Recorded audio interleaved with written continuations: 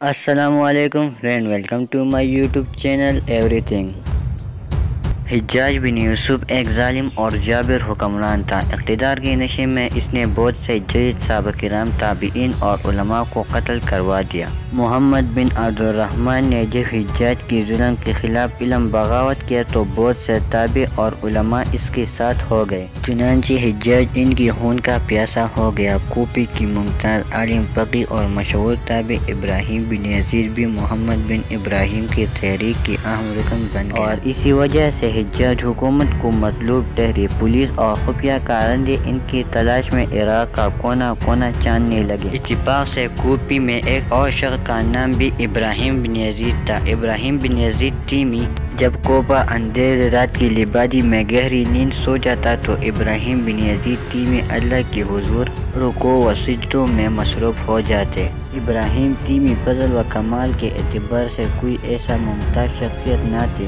लेकिन दुनिया से बेनियाती और तकवा में अपनी मिसाल आप थे। इबादत का ख़ास अहतमाम करते थे। नमाज़ कभी ख़जा नहीं होती। नमाज़ के लिए खड़े होते तो दुनिया से बेखबर हो जाते। एक दिन इब्राहिम टीमी अपने मोहल्ले के एक मस्जिद में अपने अकावा मौला से महवी व नियाज थे कि हिजाज की सिपाही आन पहुँचे। इब्राहिम गिरद पेश से बेखबर देर तक नमाज़ पढ़ रहे थे। सलाम पैरा तो पुलिस ऑफिसर ने आगे बढ़कर पूछा, तुम्हारा नाम इब्राहिम है? हाँ मुझे इब्राहिम कहते हैं। उन्होंने जवाब दिया, और बाप का नाम आबिसर ने पूछा, यजीद, आपने जवाब दिया, सिपाही चौंक गई, इब्राहिम बिन यजीद, आखिर तुम्हें पकड़ ही लिया। हमारी गिरफ्त से कोई नहीं बच सकता। हम मुजरिम को पाताल से भी ढूंढ लाते हैं। पुलिस अफसर ने अपने आप को दाद देते हुए कहा, इब्राहिम समझ गई कि ये लोग उन्हें इब्राहिम बिन यजीद नकी समझ रहे हैं, जिसने हिजाज के खिलाफ इलम बगावत किया और इनको सिर्फ़ नाम के शुबे में गिरफ़्तार किया जा रहा है। लेकिन वो खामोश हो गए। उन्होंने इब्राहिम बिन यजीद तीमर को गिरफ़्तार करके हिजाज के सामने पेश किया। इसने भी तहकीकात नहीं की और उन्हें जंजीरों में जकड़ कर दिमाग के कैद खाने में डाल देने का हुक्म दिया। ये कैद खाना हिजाज बिन यूसुफ ने बतौर ख़ास मुजरिमों के लिए बनवाया था। कैद खाना क्या था? मौत का घर था। खुले आसमान की नीचे बुलंद व बाजा दीवारों से गिरा हुआ एक वसी व आरेज मैदान था। जिसमें गर्मी, सर्दी, बारिश और धूप से बचने का कोई इंतज़ाम नहीं था। यहाँ जो शख्स एक दफ़ा पहुँच जाता, कैद हयात से छूट कर निकलता था।